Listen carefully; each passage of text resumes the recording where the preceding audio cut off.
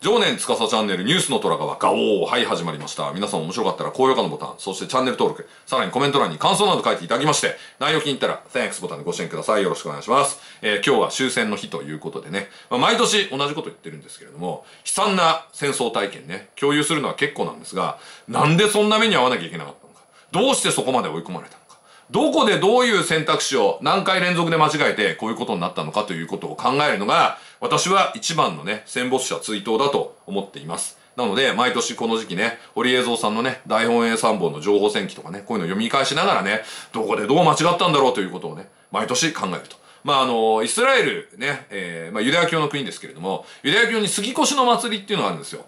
これ何かというとね出エジプト記を追体験するそういうお祭りなんです。出エジプト記ってわかりますよね？ユダヤ民族がこうエジプトね、バビロン領収術ってね、捕らえられてて、で、そっから逃げると。モーゼが祈るとこうね、えー海割れるみたいなあの話なんですけど、なんでそういうことになっちゃって、どんな苦労して、ね、またその約束の地まで戻ってきたのかみたいな話を、毎年ね、えー、本当夜中までそのね、歌をいっぱい歌ったりとかね、いろんなこう子供にもいろいろ聞かせたりとかし、やるんですけれども、まあそれと同じですよね。なんでそうなっちゃったかっていうことをさ、よく反省する必要があるのかなと思います。で、今日ですね、えー、ツイッターの方でね、えー、朝ね、えー、一発目の投稿でその辺のことを書かせていただきました。でね、あのーちょっと自分でもね、こういうこといつも思ってるので、ぜひ皆さんとも共有したいんで、ちょっとそのまま読みます。はい。えー、今日は終戦の日。なぜ我々は対米開戦を決断し負けたのか。正しく理解し、失敗を繰り返さないことが大事。えーそのためには、軍部なる者が嫌がる人々を無理やり戦争に追いやったというナラティブを打破する必要があります。多くの人が対米開戦を希求し、真珠湾攻撃で開催を叫んだ。これが事実。なんでこんなことになってしまったのか。ということなんですよ。これ冒頭ね、こういう風に書いてるんですよ。いいですか？ね。軍部なる者が嫌がる人々を無理やり戦争に追いやったというナラティブをですね、まあ国語の教科書とかね、社会の教科書で散々我々子供の頃習ったんですけど、どうも違うなと。うん。あの小林秀夫ですらね、真珠湾攻撃の時にこの開催を叫んでいただけわけですよ。やったーって言ってね。ね。ほら見ろとね、もうとっととやればよかったんだってみんな言ってたんですよ。はい。そんな感じですよ。ね。なんでこんなことになっちゃったのと。ね。ね。つまり、この、軍部に無理やりね、暴力的な軍部がね、嫌がる人々を無理やり戦争に追いやったんですっていうストーリーは、かなり無理があるんですよ。いろんなもの調べてみればわかります。私これなんで気づいたかというと、あの、昭和恐慌脱出の過程をね、調べるにあたっていろんな経済データ調べるんですけど、過去のこと調べるじゃないですか。そうするとね、もうね、あの、一般市民がもう前のめりなんですよ、戦争にね。現状打破するためにアメリカ攻撃した方がいいんじゃねえかみたいな感じで世論盛り上がっちゃってるわけですよ。なんでこんなことになったのと、えーいうことを考えるべきじゃないかということなんですね。で、この、えー私の文章続きます。その原因の中で一番大きなものが経済失勢です。詳しくはこちらをお読みくださいということで、えーこちらの本ね、え経済で読み解く日本史、え第5巻ですね。大正昭和時代と、えいうことで、えこちらを、えーぜひ読んでほしいというふうに言ってます。で、その経済失勢についてですね、まあ、あの、いつも言ってますけど、まあ、ここはちょっと実はあの、文章の方では詳しくは書いてないんですけど、まあ、何が起こったかといえばね、あの、失われた10年ですよ。戦前のね、失われた10年。1919年から1929年までって言ったらいいかな。失われた10年がありました。で、これは何かというと、第一次大戦の時にですね、全世界が金本位制を離脱します。はい。で、金本位制っていう仕組み自体がデフレレジームです。めっちゃ景気悪いんです。戦前ってもうほら、100年に一度の強行が5年に1回ずつ起こるぐらいのさ、めちゃくちゃな状況だったでしょこれなんでかっていうと、金本位制っていう仕組みが、ね、各国の通貨発行量を金の保有量でキャップしちゃうの。ね、金の保有量までしかお金吸っちゃいけませんっていう制度なんですよ。だけど、戦前なんてさ、科学技術がめっちゃ発達してるわけですから、バンバンバンバン生産増えていくしさ、ね、GDP 増えてるのに金増えないわけ。生産力めっちゃあるのに金増えない。ね。わかる生産性上がってバンバンバンバン物作られるのに金増えない。デフレになるわな。どう考えても。ということで、デフレになっちゃったんです。ね。だから第一次大戦の前もデフレだったんですよ。ところが戦争始まって、ね、もう戦時統制っていうか、まあ、戦時経済なんで、もう金本位制なんかやってられるかってことで金じゃんじゃん吸ってですね、え兵隊雇って、ね、武器買って、ね、弾薬買って、で、もうバンバンヨーロッパで大戦争やったわけですよ。ね、で、日本もその時に一緒に、まあ、金本位制抜けたんですね。で、すんげえ景気良くなって、ね、で、日本は、えー、その、えー、戦、大戦のね、時はね、めっちゃ景気良くて、こう、バブルに湧くんですけど、その後ですよ。1919 19年、えー、19年戦争終わるとですね、まあ、そのまま景気悪くなっちゃうんですね。はい。で、これなんで悪くなるかというと、戦争終わってすぐに金本位制に復帰したわけじゃないんです。はい。金本位制に復帰するんじゃないかなというね、期待ですよ。はい。いずれでも、こんなことやってても復帰するんでしょ？という期待ですよね。この期待で、どんどんどんどん景気が悪くなっちゃったんですよね。で、えー、1919年からですね、戦後不況っていうのが始まって、で、その戦後不況でなんとなく景気悪いところに大地震起こるわけですよ。ね。関東大震災。1923年です。ね。で、ドーンと地震が起こって、で、その時に、まあその震災手形といってですね、まああの、大モラトリアムをやるわけですよね。はい。あの、震災によってですね、手形が落ちなかった人は、えー、大丈夫ですと。もう政府の方で全部保証しますと。震災手形ということでね、日銀の直接引き受けて買い取りますみたいな、まあそういう制度やるわけですよね。はい。で、それで、まあ、あのー、救済を図るわけですけど、震災 震災手形をね、あの、震災終わって、まあ、復興進むわけですけど、いつまでこれやり続けるんだってことで、国会で議論になってですね、で、1927年ね、えー、ここでですね、あの、渡辺銀行が今日倒産しましたというね、片岡大蔵大臣の失言でですね、まあ、日本中で取り付け騒ぎが起こるみたいな。これあの、震災手形をいつやめるんだ、いつやめるんだっていう議論の中でね、要はその、補助金切れたらこの経済終わりじゃんと、ね。まだ立ち直ってね、どこまでやるんだ、みたいな。で、そんな中で、金本位制にも戻らなきゃいけないと。ね。財政の引き締めと金融の引き締め、ね、いずれ起こるかもしれないっていう期待の中でですね、このまあ、昭和金融恐慌というのが起こると。で、これは1927年です。いいですか ?1919 年戦後不況、23年関東大震災、27年、えー、昭和金融恐慌ですよ。で、その後ですね、とどめさせたのが1930年。なんと金本位制に本当に復帰してしまうんですよ。はい。で、これもガチのデデフレレジームなんで、1930年からですね、31年かけてめちゃめちゃ景気が悪くなるわけですよね。はい。これがいわゆる昭和恐慌というやつね。はい。なんで、戦後不況ね。1919年戦後不況。ね。23年関東大震災。27年昭和金融恐慌ね。そして、えー、1930年に昭和恐慌というのが起こって、まあ、まさに失われた10年ですよ。めっちゃ景気悪くなって、なんとかこの状況を打破してほしいというところで満州事変ですよ。で、軍部すごーいってこう盛り上がるわけですよ。いけいけ みたいな感じでね。はい。なんで、まあ、どっちかというとですね、えー、まあ、その、国、まあ、軍も、その跳ねっ返りみたいなのがいました。もちろんいました。これいないとは言いません。でも、それに対して国民の支持もあったと。ね。この、まあ、マッチポンプですよね。で、その後高橋コレキオが出てきて、アベノミクスみたいなことするんですけど、ね。まあ、あの、1936年ぐらいね、もうある意味こう、ちょっと、あの、供給制約みたいなのを迎えてですね、えー、これからちょっとこんなにね、大盤振る舞いできねえなと、財政ファイナンスもそろそろ終わりで、ね、引き締めちょっとやらなきゃいけないよと、ね、軍事費も今みたいにね、無制限に無尽蔵には出せませんよって言ったら、226事件で、まあ、高橋コレキオが暗殺されてしまうというね、まあ、悲劇が起こりみたいな、まあ、そんな感じですよ。はい。で、その、まあ、その後もですね、景気がなんかいまいち良くならない。ね。今度はほら、あのね、えー、シナ事変始まっちゃ、始めちゃいましたから。ね、特別軍事作戦ですよ。1937年からね。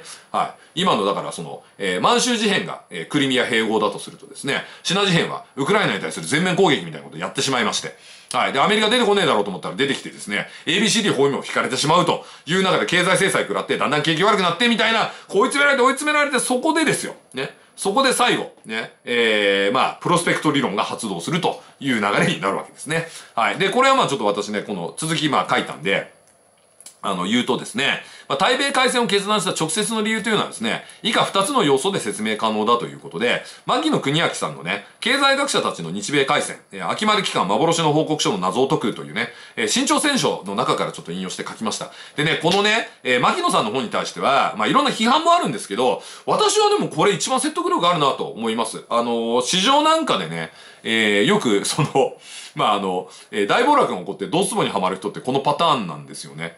ね、あの、ちょっと損失が出るとですね、はい、あの、無理して取り返そうとすんのね。一発逆転狙ってよりリスキーな賭けに出てしまうっていうのはこれ、人間あるあるで、で、同じことまあ当時の日本人もやってしまったのかなということなんですね。で、プロスペクト理論ってのは何かというと、あの、人間はですね、損失を回避するためには、あの、大きなリスクを恐れなくなるということなんですよ。あの、例えばね、例えばですけど、まあ、このね、えー、私この文章の中でね、プラン A 確実に3000円損するっていうね、プラン A とね、それから8割の確率で4000円損するけど、2割の確率で損失がゼロになるというね、2つのプランがあったとして、皆さんどっち選びますかっていうことを聞いてるわけです。はい。確実に3000円損するプラン A。ね。8割の確率で4割、えー、4000円損するけど、2割の確率で損失がゼロになる。ね。プラン B。どっちがいいですかって言った時、大体みんなね、プラン B 選んじゃうんですよ。2割の確率でゼロになるなら、じゃあちょっと一発やってみるかってなっちゃうんですよ。でも実際にはこれどう計算するかというと、プラン A はですね、機械損失がマイナス3000円ね。これなぜかというと、えー、3000×100% ですから、マイナス3000円なんです。えー、ところがプラン B はですね、4000円損する確率が80%でしょ？ってことはこれ、四波32でマイナス3200円なんですよ。ね。で、ゼロになる確率がまあ20%ですけど、まあこれゼロですから。そうすると、機械損失で見るとね、計算上はですね、プラン A はマイナス3000円、プラン B はマイナス3200円ですから、プラン B を選んだ方が損する可能性高いんですけど、ここをね、あんまりね、合理的に判断できずね、プラン B を選んでしまう人多いんです。ね。で、これをですね、当時の状況に言い換えるとこうなります。アメリカの資金凍結、石油禁輸措置により、2、3年後には確実に自利品になり、戦わずして屈服する。これがプラン A です。戦わずして負けると。ね。で、プラン B はですね、開戦すれば高い確率で日本の致命的な敗北は、えー、免れないと。ね。土下品を招くと。ね。しかし、非常にかく、えー、非常に低い確率だけど、一撃して講和できるかもしれないと。ね。ドイツがこのまま勝ち続けて、ね。なんちゃらかんちゃらかんちゃらってこう4つか5つぐらい条件続くんですけど、それぐらいあれば、なんとかなるかもしれないと思った時どっち選ぶと。ね。座して塩ますよりはっていうことで、まあ、B を選んでしまうと。いうことですね。で、さらに言うとね、これ、この後ね、この後大事ですよ。プラン B 一択だと煽ったのが、新聞。新聞。いいですか？プラン B 一択だと煽ったのが新聞。朝日、毎日、新聞ね。ね。それから極。ね。そしてもう一つ大事な、コミンテル。ね。ソ連のスパイとかね。ね。コミンテルとかね。あの、ソ連のスパイとコミンテルンってね、わざとちょっと分けて言わなきゃいけないんですよ。あの、左翼はこういう細かいこと突っ込んでくるね。で、ちなみにもうこの時コミンテルン解散してて、コミンフォルムになってたみたいなこと言うんですけど、まあ、コミンテルンだよ、要はコミンフォルムの名前変えたって。ね。あの、なんだっけ、民主青年同盟共産党だよ、そんなもん。あ変な言い換えやめろって思うんですけど、まあ、まあいいや、そんなこと起こってもしょうがないですけど、コミンテルンです。はい。コミンテルン、極、まあ極の中にもコミンテルンいっぱいいたからね。今のヨーロッパの極が新ロ派みたいな話でさ。ね、で、こういう奴らがですね、プラン B 一択だって煽ったんですよ。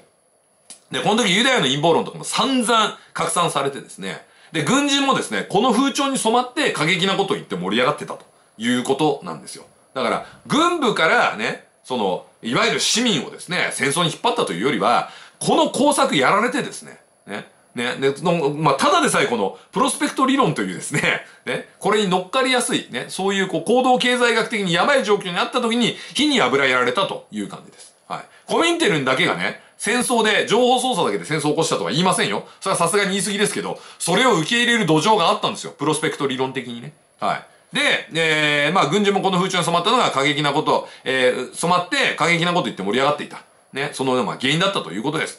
で、軍に導かれたというより、経済失勢という燃料に陰謀論で転化され炎上した感じと、えー、いうことです。はっきり言って。で、この状態になるとですね、今度ね、社会学の出番なんですけど、リリスキーシフトというね、現象が起こるんですね。で、これ何かというとね、一番過激なこと言ったやつが勝ちなんですよ。はい。でね、これいわゆるね、悲観マウントってやつですね。ええあの、日米交渉は、えー、できる、可能だっていう人に対してはですね、考えが甘いとか言ってレッテル貼るんですよ。そんなん無理だと戦う一択だってこうやるわけですよ。もうスターリン大喜びですよね。はい。だって日本が北進してこないわけだからさ。ね。だそういうね、あの、なんか現実的な、リアリストに対してですね、甘い甘いっつってね、その、超悲観的なシナリオを言ってマウントしてくると。この悲観マウントによってですね、まあ、いわゆるその、まあ、えー、対米講和論ね、もう大体まあ、えー、潰されてしまいまして、えー、スターリン大喜びと、えー、いうことです。ということで、えー、この戦争をですね、正しく、えー、総括しましょう。えー、そのためのですね、裁量の書がありますので、ぜひ皆さんに読んでほしいんですけど、畑野住夫先生他ね、6名の方に、えー、よって書かれたですね、えー、決定版大東亜戦争という本があります。この大変いい本ですので、ぜひお読みいただいてですね、あの、このまあ、戦争でね、一体何が起こったのかと。あえてこのタイトルを大東亜戦争って知ってるところがさ、ね、ただの左翼のね、えー、その日本が悪いってだけの本ではないんですよ。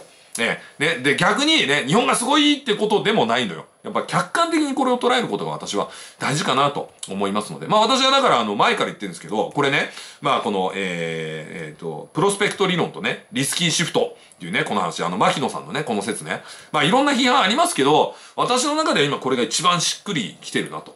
うん、いうふうに思います。まあ、実際のところはね、諸説ありっていうところだとは思いますよ。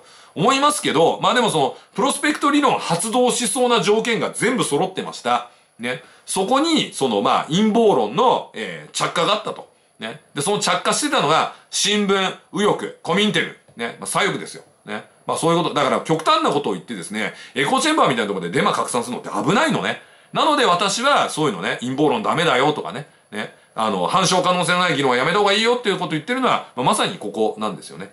まあ、ところがですね、反戦反戦言ってる左翼が今、まさにこれ、同じことやってるでしょね、デマで盛り上げてさ、ね、で、相手をさ、そのね、人権がーとか言ってね、あの、まあ、口塞がせるとかさ、議論しないじゃないですか。津田大介さんも僕のこと訴えてくるだけで議論しないでしょ。で、こういうのが危ないんですよ。戦争への道なんですよ、津田さん。ね、あなた危ないよ、本当ちゃんと気をつけて、議論した方がいいよ、本当ね。というふうに思うんですよね。まあ、裁判も結構ですけど、受けて立ちますけど、でもね、あのー、やっぱり、あのー、こういうね、もう負ける戦いをね、二度とやらないためにはね、我々はしっかりとこの歴史ね、なんでこうなっちゃったのかということを反省する必要があるかなと、えー、いうことで、まあ、毎度のことなんですけどね、毎年この話してるんですけど、ぜひ皆さんとまた共有したいと思ってお話をしました。はい、ということで、えー、今日の内容、えー、大変興味深いと思った方はですね、ぜひね、高評価のボタンとね、チャンネル登録、えー、さらにコメント欄に感想など書いていただきまして、内容気に入ったら、Thanks ボタンでご支援ください。よろしくお願いします。ガオー